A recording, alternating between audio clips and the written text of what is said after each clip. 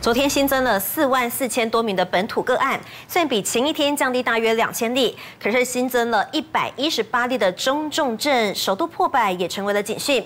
指挥中心也推估，疫情将会在五月下旬的时候达到高峰期。还有医师认为，到了高峰的时候，每天可能会单日确诊就有二十万例的海啸，还会持续两个星期左右。所以提醒大家，如果没有做好心理准备，恐怕会疯掉。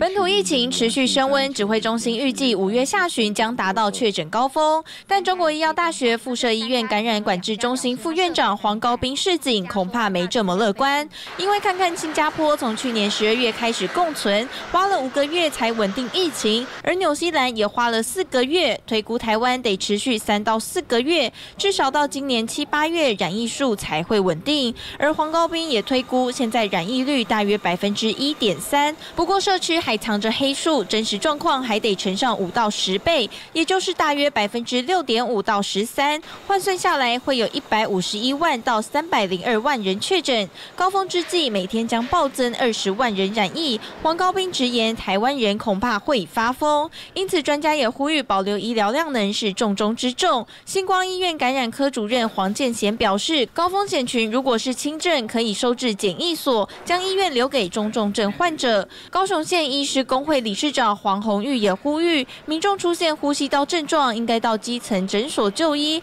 由医师给快筛试剂及药物，不要挤到大医院。除了要花长时间等待，还可能造成群聚风险。嗨，想全天候二十四小时收看新闻直播吗？敬请关注东森新闻官网。当然，手机下载东森新闻 App，你也可以掌握新闻讯息，既快速又便利哦。